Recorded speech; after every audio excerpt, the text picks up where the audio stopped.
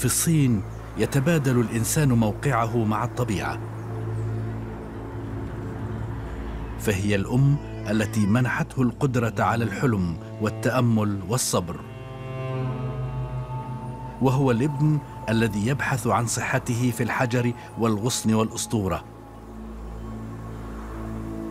فغدت أقدم صيدلية تحكي سر التلاقي بين العشب والحكمة والزمن. كي تنصاع التكنولوجيا وتقدم ما عليها في انسجام يجعل قلب الطب الصيني مهابا من تجهم الأمراض وعبوس الألم.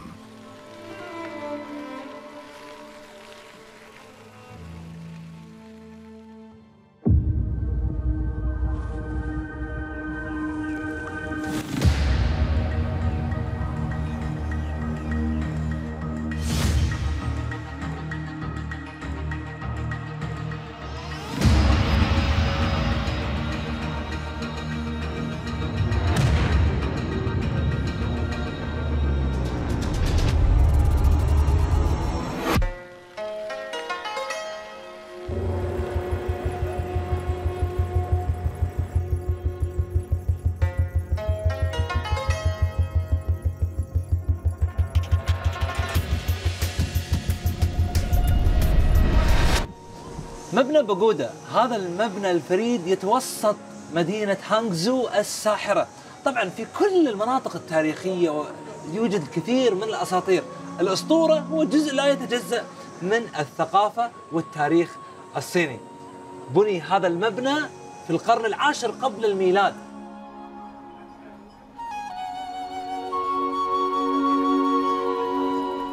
هار أيضا في سنة 1923 بأسطورة أيضا.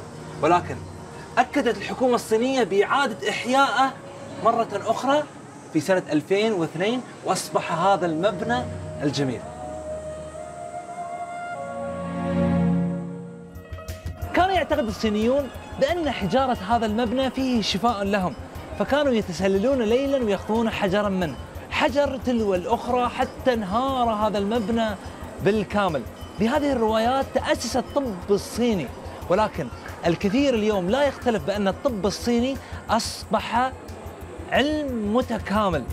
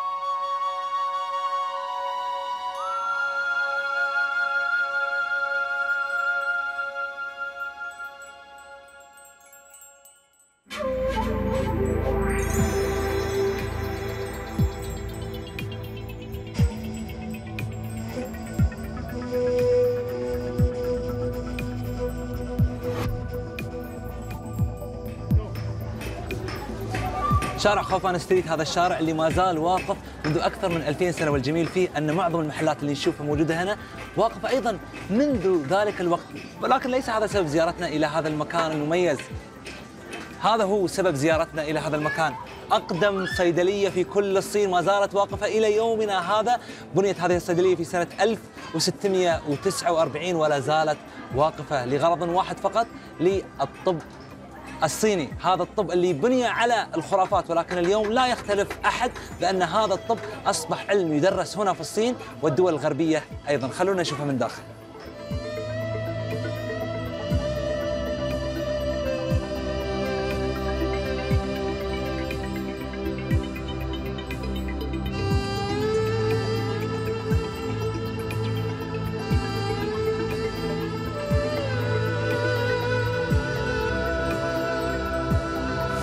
جميع الأعشاب موجودة في هذا المكان. هذه الأعشاب فقط للراحة النفسية. إحنا ما نتكلم عن صيدلية. إحنا نتكلم عن مستشفى كامل متكامل جدا جميل. شوف هذه القطعة. العود هو نفس العود اللي إحنا أيضا نستخدمه. هنا يستخدمونه في العلاج. هم في هذه الصيدلية يفتخرون بأطبائهم بشكل كبير في هذه الصيدلية، إحنا نتكلم عن أقدم صيدلية. فنفس هذا الطراز كانت تستخدم في السابق. ولكن اليوم ضافوا لها نكهة التكنولوجيا والنكهة الجديدة بإمكانهم أن يشوفون آه، جميع الوصفات الطبية من خلال هذا الجهاز.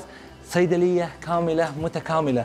يعني نشوف حتى آه، جذور نبتة الجنسن هذه النبتة اللي تستخدم في الكثير من العلاج هنا وطبعا نبتة مش رخيصة قيمة هذه فقط تصل إلى 1800 دولار تستخدم أيضا في الطب في كل أنواعه جميع أنواع الطب الشعبي يستخدم في هذا المكان. إحنا نتكلم عن حتى القمح وحتى الزعتر.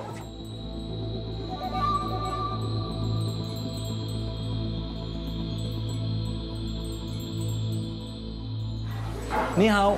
اي نيهاو. وهنا أيضا يطبخون هذا يطبخونها بنكهات. يعني مثل ما نشوف هو قاعد حاليا يطبخ عين الجمل مع العسل مع زيت زيتون والفلفل الأسود لعلاج بعض الأمراض في هذا المكان. ما شاء الله مكان كامل متكامل اليوم الطب الصيني لا ينافس الطب الغربي بل هو يطغى على الطب الحديث والغربي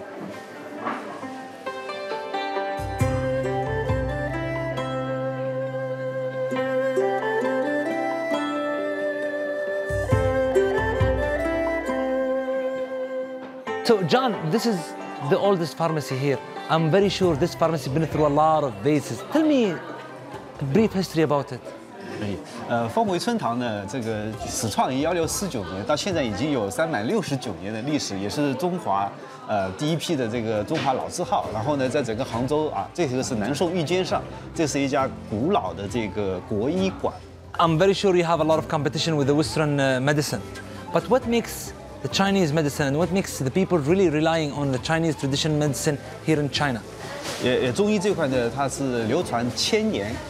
应该说是养育了整个中华民族。因为以前没有西医，然后呢，西医这款它有可能是针对某一个病症，单单一的去治疗这样一个症。那中医呢，它是一个整体观，它会辨证施施治，然后根据你的这个体质综合的调理。那比如说我们像这边啊，会有一些这个根据，因为中医里面讲上医是治未病，中医是治已病啊，最低级的医生是治啊治这个治病啊，所以说我们这里也有很多这个根据人的综合体质来进行调理的。So, John, I'm, I'm trying to understand do really Chinese people rely on the Chinese traditional medicine?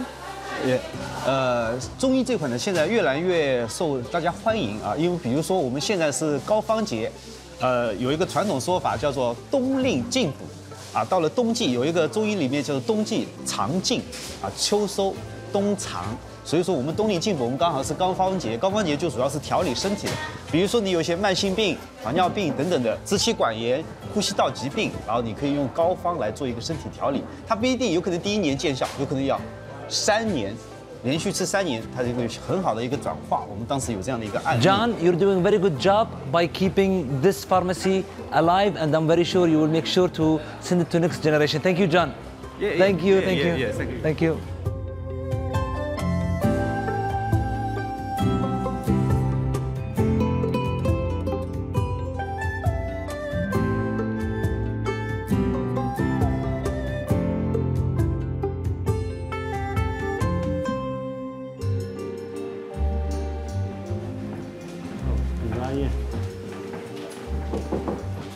doctor.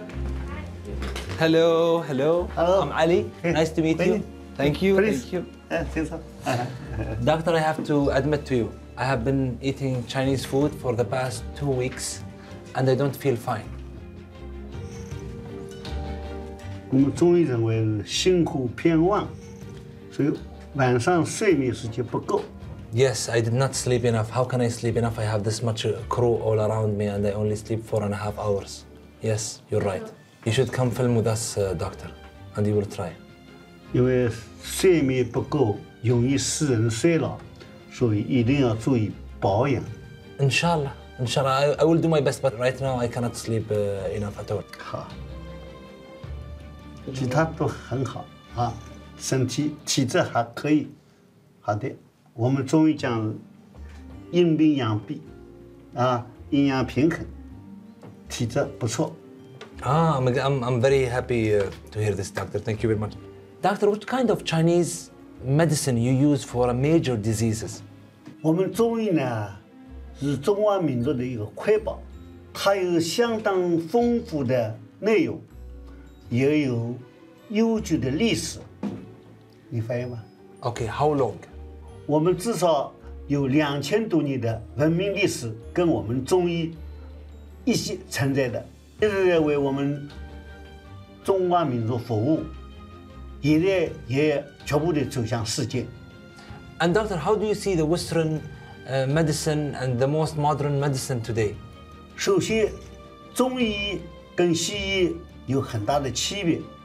我们西医里面强调了实体，而我们中医强调了一种气化的功能。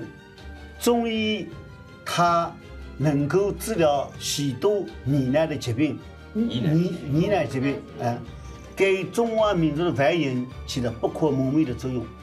中华民族的繁荣，比方说我们消化系统的疾病，胃痛，比方说呼吸系统疾病，咳嗽，比方说神经系统病，失眠，比方说我们男性的疾病，不孕不育，啊，阳痿等等，都有比较好的疗效。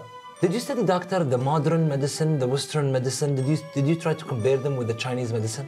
我们大学一定是要有西医的，一般我们大学里是四比六，六门中医，四门西医，所以我们也学过西医的现代医学。كلمات الصراحة جدا منقاة من الدكتور نفسه هذا الدكتور اللي إحنا نشوفه عمره 86 سنة ويعتمد ولا استخدم طول حياته في العلاج الغربي أو العلاج الحديث اللي مثل ما إحنا نستخدمه اليوم يستخدم فقط العلاجات القديمة فهو مؤمن بأن الجسم الطبيعي لازم يعتمد بشكل كبير على الطبيعة نفسها ولا يدخل فيها أي كيماويات Doctor, I see you have a student on your left and you're trying to teach him for the next generation. I'm really thrilled and happy to see this. But are you keeping the same formula as your ancestor taught you about the Chinese medicine? 现在我们中医的培养的途径，第一，大学培养；第二是师带徒，还有一种人既是师带徒，又是大学培养的。所以，我们中医的培养是多途径的。古代的中医基本上就是一代一代的传下来。Okay, doctor, I'm not going to argue with you that about the Chinese medicine can solve many problems, many minor problems uh, like uh, fever, like uh, uh, stomach problem, but do the Chinese medicine can solve a major problem like the cancer, like other major diseases? 我们中医疑难杂症当中，其中包括癌症。癌症呢，从它的预防，从它的治疗，从它的挽救，都有我们中医的功劳。 So, doctor, what's the future for the Chinese traditional medical? 我们中医的发展呢，现在可以讲百花齐放，百家争鸣。但是每个人的由于他的知识结构不同，他的很可能他的研究方向以及他的思路有所区别。有些人主张中医跟西医结合起来学，有些人主张立足中医采取拿来主义，有些就是固守在中医这块沉地。所以，我们今后的发展方向，我想中医必然将永远存在，但是会吸收现代科学的一些精华，为我中医服务，继续为广大人民群众服务。Doctor, thank you very much. Give me one advice, doctor. 对你来说，现在年轻的上，各方面都很好，但是我们中医，特别是预防医学，中医这个中是放在前面的，也就是预防放在前面的，保养放在前面的。现在养生是个长期的过程，从你决心养生开始，又要开始养生，不要等到生了病以后再养生，现在就要开始不断的保护自己，包括吃、睡，啊，包括运动等等方面。 Okay, thank you, doctor. Okay, give me, me medicine. Give me medicine. هذه اول وصفه طبيه اخذها في حياتي مبنيه تماما على الاعشاب الصينيه كتب لي الدكتور وصفه عن آه، علاج آه، الضغط وايضا وصف لي شاي آه، يساعد على النوم بشكل كبير ووصف لي ايضا آه، آه، وصفه ثالثه اللي هي آه، آه، لعلاج الارهاق شاء الله. هذا المكان very nice على فكرة هذا المكان مو بمكان سياحي هذا هو قلب الطب الصيني.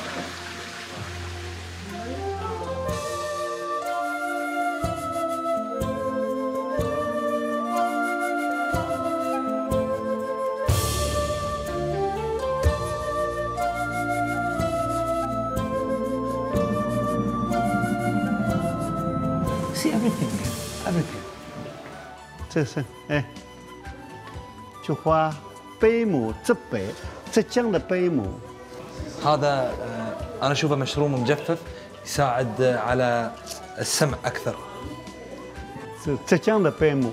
ريحته جدا قويه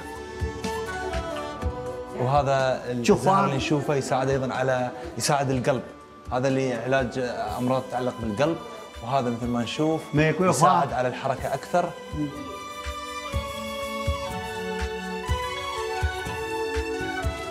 ما أقدر أقاوم أن لا أفتح هذه الأدراج.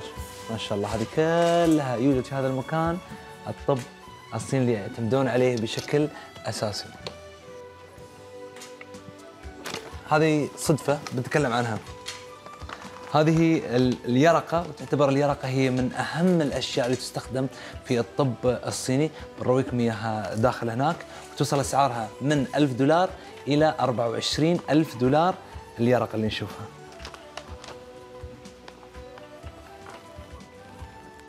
这是百合，这是茯苓，这是荷花米，就是荷花花，这个荷花皮，这个荷花皮，这个生地，这个是石菖蒲啊，石菖蒲开窍啊，这个黄连啊，黄连， طبعا يبدو لي أن这个- كل شيء له اسم 这 مسمينه 个五味子，这个五 من 味 المكونات 子。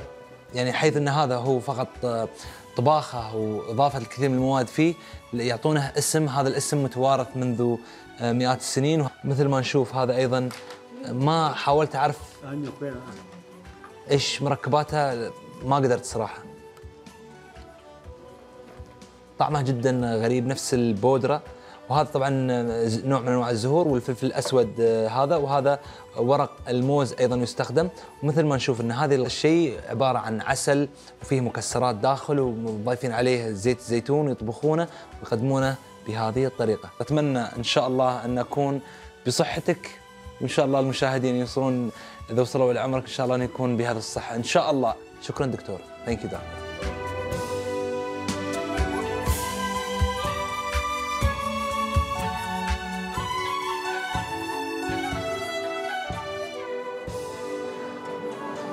بنيت الثقافة الصينية على الانسجام مع الطبيعة مع التطور اللي تشهده الصين اليوم من عمران ومن تكنولوجيا إلا أنها منسجمة بشكل جميل جدا مع هذه الطبيعة الجميلة في الصين. وحتى الطب الشعبي اللي نشوفه منسجم وجزء لا يتجزأ من هذه الثقافة. ففي الصين مؤمنون بشكل كبير لعلاج أي أمراض أو أي اختلال في الجسم يرجعون إلى الطبيعة وهم أيضا مؤمنون بأن الإنسان عندما يفقد توازنه يرجع إلى الطبيعة. فالإنسان جزء لا يتجزأ من الطبيعة.